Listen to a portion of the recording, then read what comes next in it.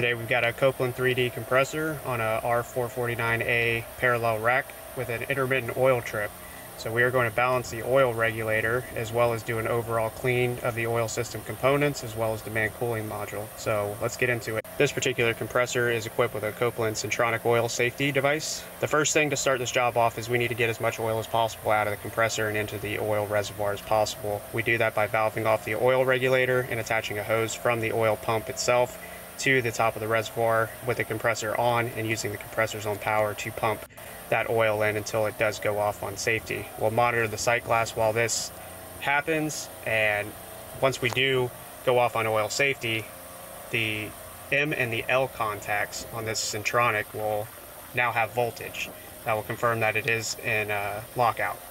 So we'll measure that with the meter once it does go off on oil safety, which it just turned off so we'll take our Fieldpiece meter here and check the voltage difference and we do have it. And now we need to pump down the system. It is equipped with a demand cooling module, so we need to valve off the line feeding the demand cooling, as well as valving off the suction king valve. And Chad is valving off the discharge king valve while I do this. Teamwork.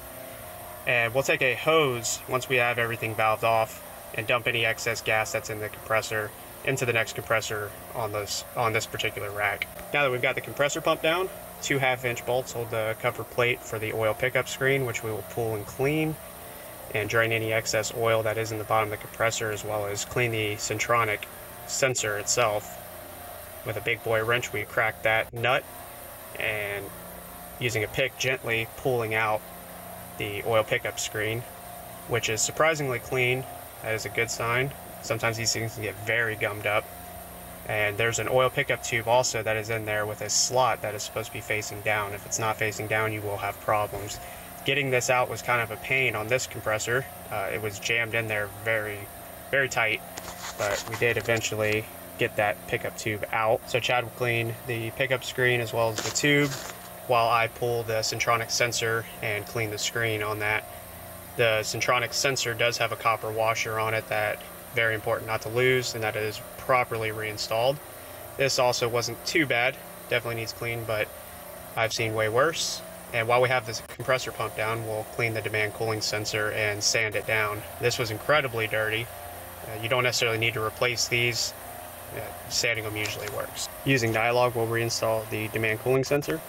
Another thing I have to stress is to wear proper hearing protection in rack rooms. We're at 90 decibels. It's very loud in here. Protect your ears. We are almost ready for startup, so now that everything's clean, we will take Brad's 2CFM NAVAC vacuum pump and evacuate the compressor for any contaminants. Our final step is to balance the oil regulator to properly do this. We have an OCV5 check valve and we must take our pressure difference between the oil reservoir and crankcase suction pressure, which in this case is 5, and then plot it on the manufacturer's graph uh, to find out how many turns from the bottom we need to adjust the oil regulator for the proper level. We now know we have a 5 psi oil differential, so using the graph from the manufacturer, we can determine that it'll take 10 counterclockwise turns on the oil regulator from the bottom to maintain a half full sight glass. These are not instant.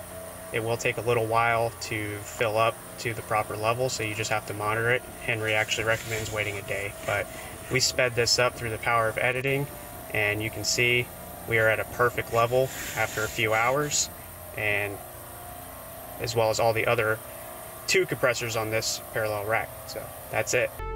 Thanks for watching our video.